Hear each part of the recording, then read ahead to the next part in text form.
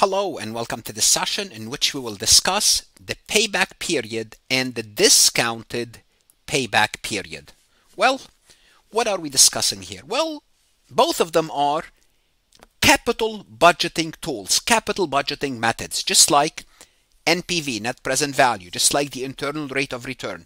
They help us do what? They help us evaluate whether we should undertake a capital budgeting project. Now, what is a capital budgeting project?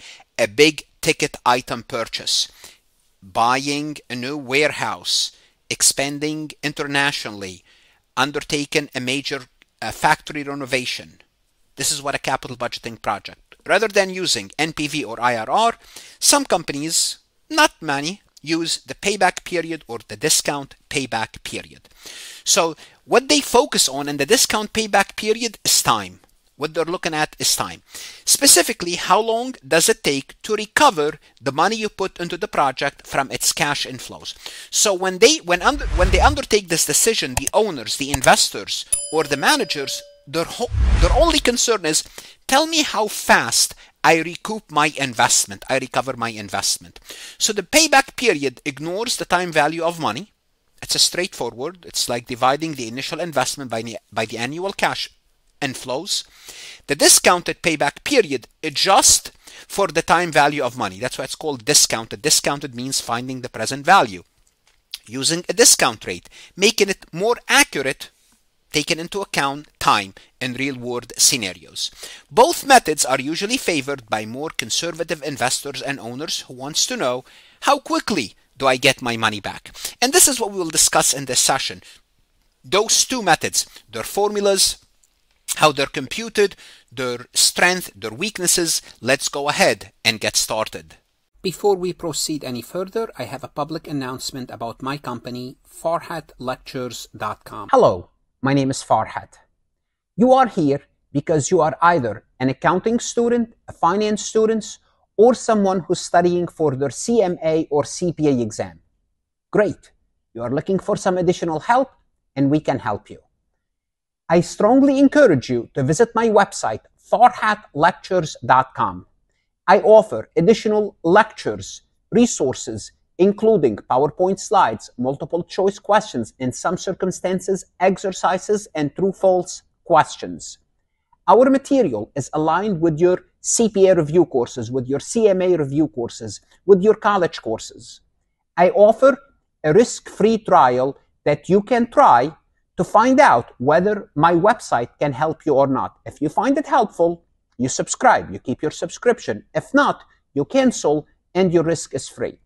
If you like this recording, if you like my lectures, you would like what's on the website, give me a chance to help you with your college courses as well as professional certification. I hope to see you on the website. Starting by computing, calculating the payback period with an example. Let's assume a company want to invest in new equipment costing 120,000.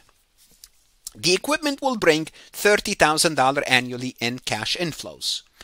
Management always want to have project that would recoup their money within 5 years. Would this project be acceptable? Well, here's a simple calculation. I will take my investment 120 divided by my annual cash inflows, and I will find out the answer is 4 years. Will they accept? Yes, they will, because as long as it's within 5 years, we will accept the project. So they will give it the green line. This capital project is a go-ahead. How about if we have multiple projects? Let's take a look at, you know, two projects competing. How do we evaluate them using the payback period. Let's say a company is comparing two projects, Project A and Project B. Each require initial investment of 90,000. Cash inflows for Project A is 50,000 in year 1, 90,000 in year 2, and no inflows afterward.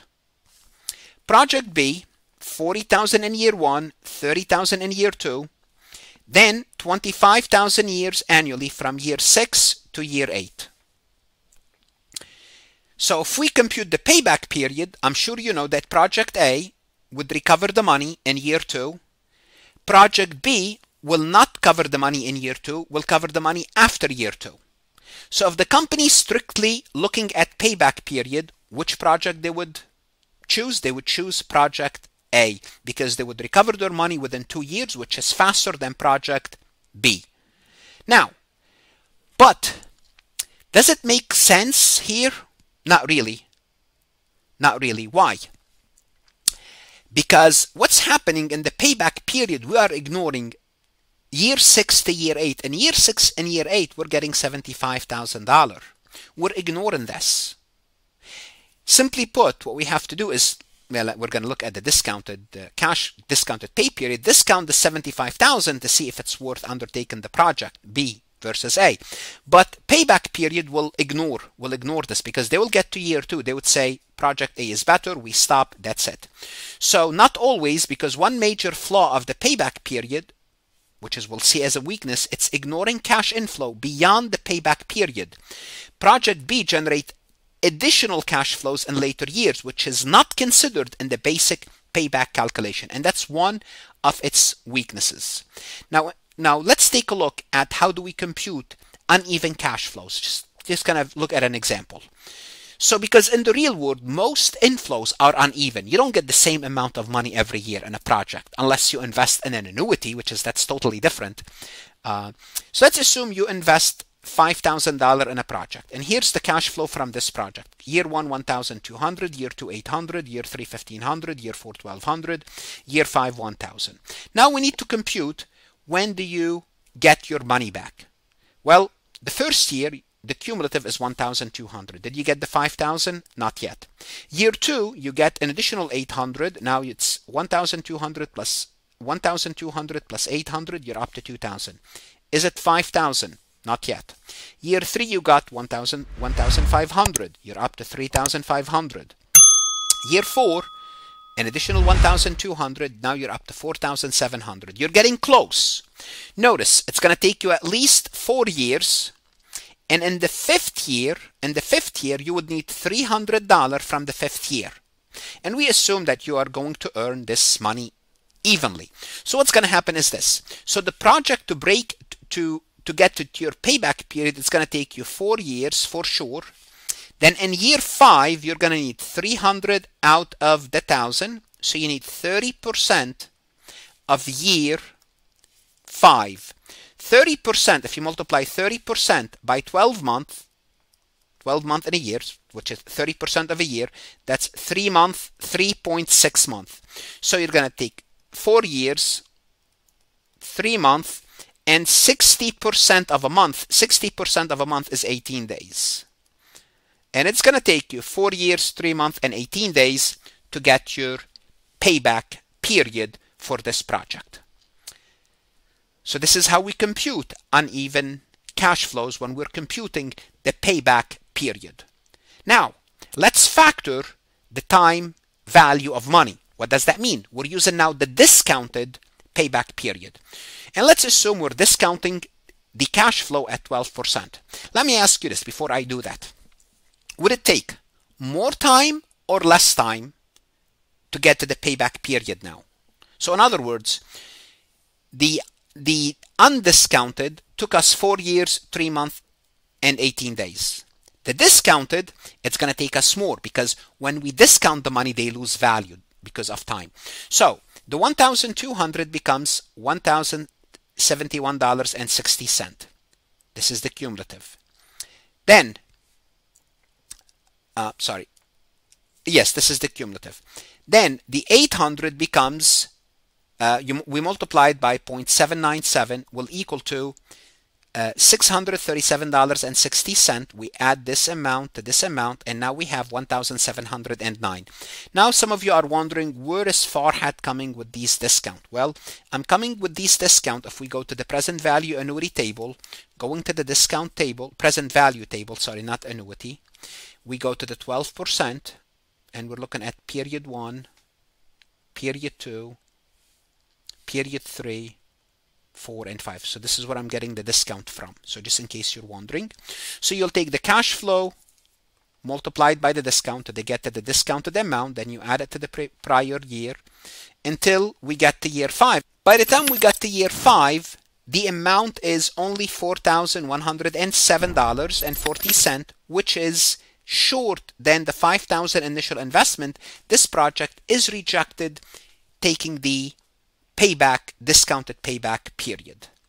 Advantages of the and disadvantages, it's simple. The advantage, it's simple, easy to compute and understand. It's basically a screening tool. what, what is a screening tool? Sometimes management or the owners just want to they want to know, do I recover within this amount of time or not? If not, don't even study the project. I don't want it. It's it's it's a quick, easy to uh, to take it out. It's cash focused. Prioritize liquidity by highlighting short-term payback. Simply put, they want project that gives you the money quickly back, which is liquidity. Disadvantage is it ignores long-term gains. It does not account for cash inflows after the payback. Sometime this project could generate cash forever. And this is great, but if you're using the payback period, you might reject this. It lacks precision because it ignores the time value of money, assuming we're using the payback period. If we're using the discounted, that that weakness is out, and you saw it in the example that it does kind of help you make a better decision. Misleading priorities. Shorter payback does not always mean a better investment. There are other factors. The discounted payback period addresses some of these issues, but still focuses only how long does it take to recover the initial investment. Let's take a look at this multiple choice question from farhatlectures.com. Which of the following highlights a potential advantage of using the payback period for evaluating investment? So potential advantage. The payback period is a straightforward and simple to understand, making it accessible for decision makers. Is it straightforward and easy to understand? I hope so, yes. So A is correct, B is out, C could be correct, D is out. The payback period method ignores the time value of money, focusing solely on the recovery of the initial amount. So this is the regular payback. Yes, the regular payback period ignores the time value of money. Is this an advantage? It's true. But th is this an advantage? It's not an advantage. It's a true statement. They're not asking you whether the statements are true. The first one is an advantage because it's true. The second one is true, but not an advantage. Therefore, the answer is A. What should you do now? Whether you are a student, accounting, finance, or studying for your accounting or finance professional certification, go to Farhat Lectures for additional resources. Farhat is always here to help. Invest in yourself and stay safe.